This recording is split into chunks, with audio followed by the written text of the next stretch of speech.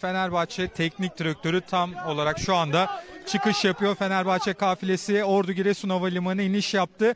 Ee, İsmail Kartal'a taraftarlar çiçek e, takdim ediyorlar. Aynı zamanda yöneticiler de kafileyle birlikte benim sayabildiğim 5 yönetici kafileyle birlikte takımla geldi.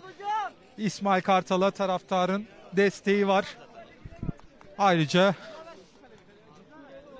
dediğimiz gibi kafilede şu anda havalimanından yavaş yavaş çıkış yapıyor. Fenerbahçe Giresun'a önemli eksiklerle geldi. Sarı lacivertlerin özellikle orta saha bölgesinde ciddi bir eksik problemi var. Gustavo sakatlığı devam ediyor. İrfan Can Kahveci keza aynı şekilde. Bu arada taraftarın İsmail Kartal'a sevgisinde kameraman arkadaşım Erdal Balcı sizlerle paylaşıyor. Yaklaşık 100 kadar taraftar desteğini gösteriyor Fenerbahçe'ye. Gustavo demiştik, İrfan Can Kahveci demiştik, Mesut Özil henüz takımla birlikte çalışmaya başlamadı. Bunun dışında Novak sakatlığı devam ediyor. Ozan Tufan son maçta aldığı darbe sebebiyle tedbir amaçlı olarak yine burada olmadığını ifade edelim. Zayt yine son iki maçta grip olduğu için olmamıştı. O da kadroya döndü. Ayrıca Crespo'nun da kart cezası olduğu için yine Giresunspor maçı kafilesinde olmayacağını ifade edelim. Futbolcular çıkış yapmaya devam ediyorlar. Fenerbahçe yarın saat 16'da GZT Giresunspor'un konuğu olacak. Osman Ertuğrul Çetin de ekranlarınıza geldi. Sarı lacivertlerin birlikte benim sayabildiğim 6-7 tane yönetici vardı. 6-7 yöneticiyle birlikte geldi takım. Tabi Sarı lacivertler son olarak Ziraat Türkiye Kupası'ndan elendi. Bu arada futbol bazı futbolcular taraftarların imza ve fotoğraf isteklerini de kırmıyorlar. Ziraat Türkiye Kupası'nda Kayseri Spor'a son dakika yediği golle elenmişti Fenerbahçe. Ligde işler çok fazla istediği gibi gitmiyor. Bir çıkış arıyor Sarı lacivertler. Bu çıkışı da Giresunspor deplasmanında yapmak istiyor. Bu arada Mert Hakan Yandaş genç oyuncu Arda Güler'le birlikte. Arda Güler de uzun bir aradan sonra sakatlığından sonra kafilede yer alıyor. Mert Hakan Yandaş da onu elini omzuna atıp takım otobüsüne birlikte geçtiler. Sarı lacivertli futbolcular çıkış yapmaya devam ediyorlar. Buradan takım kamp yapacağı otele doğru hareket edecek ve ardından da yarınki maç için kampa girecek. Burak Kapacak Fenerbahçe bu sezon başında transfer olmuştu. Ener Valencia taraftarların sevgi gösterisi devam ediyor futbolculara. Valencia'da taraftarın imza isteğini kırmadı. Şu anda da kendisine uzatılan formayı imzalıyor. Kafile yavaş yavaş tamamlanıyor. Dediğimiz gibi Giresun'da konaklayacağı otele geçecek Sarı lacivertler. Yarın saat 16'da oynanacak karşılaşma. Buraya 6 önemli eksikle geldiğini belirtmiştik Fenerbahçe'nin. Bu 6 eksikle yarın mücadele edecek İsmail Kartal özellikle orta sahada bu defa çok fazla seçenek hakkı olmayacak. Zayt var o bölgede oynayabilen. Sosa var. Mert Hakan Yandaş var.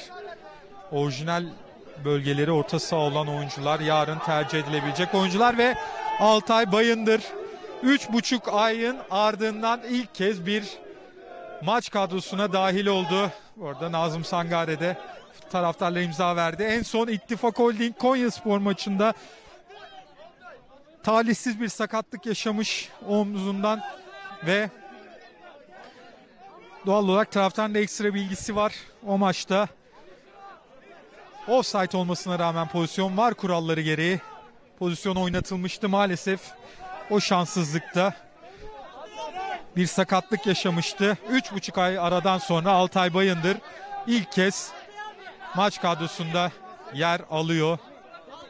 Altay Bayındır'a da taraftarın ilgisi bir hayli yüksek.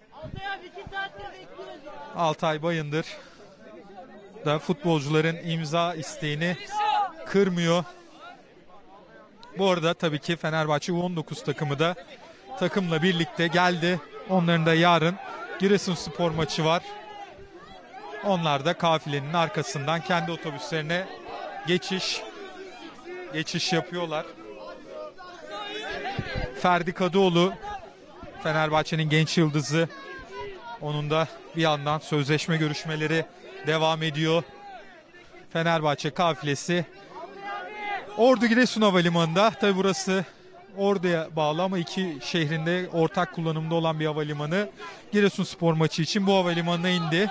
E, Jose Sosa da yine taraftarın sevgi gösterisi eşliğinde takım otobüsüne geçiş yapıyor. Fenerbahçe kafilesi yaklaşık 20 dakika önce Ordu Giresun Havalimanı indi. Kafile tamamlandıktan sonra futbolcular takım, takımın konaklayacağı otele geçecekler ve burada yarınki maç için kampa girecekler. Kameraman arkadaşım Erdal Balcı size bu görüntüleri aktarıyor. Kafilenin kalabalık olduğunu ifade ettik. Kafileyle birlikte 6-7 yönetici var. Kafileyle birlikte 6-7 yönetici var. Bu arada evet. Şu anda tüm futbolcular otobüse geçtiler. Birazdan emniyet güçlerimizin güvenlik önlemleri eşliğinde takım oteline doğru hareket edecekler. Sarı lacivertli takım dediğimiz gibi kalabalık bir şekilde geldi. U19 takımı da takımla birlikte A takımla birlikte 6-7 yönetici var. Fenerbahçe heyeti, Fenerbahçe kafilesi şu anda Ordu Giresun Havalimanı'ndan ayrılıyor. Tekrar edelim yarın saat 16'da oynanacak karşılaşma ve gün boyunca yine hem gelişmelerle hem yayınlarla karşınızda olacağımızı belirtelim. Bizim Ordu Giresun Havalimanı'ndan aktaracağımız notlar bu şekilde. Sözü tekrar stüdyoya bırakalım. Ahmet Selim Kul Giresun'da Fenerbahçe kafilesini karşıladı. Canlı görüntüleri ekranlara getirdik. Ee, uzun bir süre sonra sakatlığını atlatan Altay Giresunspor mücadelesinin kadrosunda yer alıyor. Ee, taraftarların da yoğun bilgisi vardı. Fotoğraf çektirmek isteyen taraftarlar Fenerbahçe'yi Giresun'da karşıladı. Ee, Crespo'nun kart cezalısı olduğunu söyleyelim bir kez daha. Giresun'da yok. Kafilede yer almadı. Sakatlıkları devam eden İrfan Can Kahveci gibi, Mesut Özil gibi oyuncular Yine keza aynı şekilde Novak e, Giresun'daki kafilede yer almıyor. Az bir süremiz kaldı. Giresunspor deplasmanında Fenerbahçe adına önemli bir e, karşılaşma.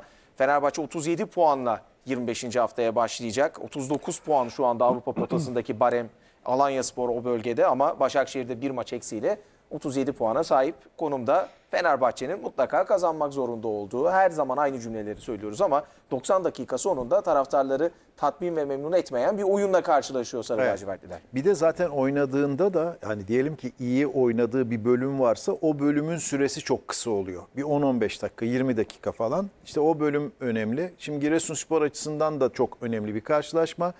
Giresunspor'un burada şunu söyleyeyim. Eğer Fenerbahçe erken bir gol bulamayıp süre uzarsa Giresunspor'un fiziki direnci yüksek olduğu için e, Fe- Fenerbahçe'ye çok büyük zorluk çıkartabilir. Onu özellikle söyleyebilirim. E, Fenerbahçe açısından baktığımda da hani hiçbir maça favori çıkmıyor Fenerbahçe. Oyun gücü açısından söylüyorum. Ben iki takım için hayırlısı olsun diyorum ama tek şey söyleyeceğim. Şu görüntüler çok güzel taraftarların. Aynı şekilde bu sezonu unutsunlar. Fenerbahçe'de Galatasaray taraftarları da gidene kadar sahip çıksınlar taraf, takımlarına. Başka yok yapacak bir şey. yok. Ne kadar yuvalasanız bile, ne kadar istemeseniz bile bunlarla devam edeceksiniz. Lig böyle gidecek.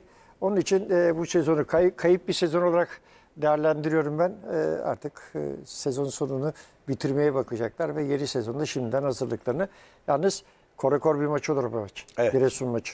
Giresunspor'un Giresun- biraz e, bu bir geçtiğimiz takım. haftalarda e, saha dışı olayları çok fazla konuşuldu ama Sangare konusu Evet. e, Giresunspor cephesinde çok meşgul etti. Olabildiğince ben yöneticilerin yaptığı açıklamaları da bakıyorum. Atılan tweetlere de bakıyorum. Olayı sahada tutmaya çalışıyor. Ama ister istemez taraftarların da aklı o tarafa doğru ka- kayıyor. Çünkü Giresunspor sezonu istediği gibi başlayamadıktan sonra Hakan Keleş'e verilen o güven beraberinde karşılığını da getirdi. Bu yüzden olabildiğince saha içinde kalmaya çalışıyor takım. Evet yani şimdi orada bazı iddialar var. Ee, o Sankare e, Lekip'e bir açıklama yapmış. Onun e, ben çok doğru olacağını düşünmüyorum. E, yaptığı açıklamanın. E, ama netice itibariyle e, böyle bir sorunla uğraşıyorsun. Çünkü genelde oyuncular kafasında ne var bilmiyorsun. Acaba paramı alayım gideyim diye mi düşünüyor onu da bilmiyorsun. Yani e, ondan bağımsız oynanır bu karşılaşma.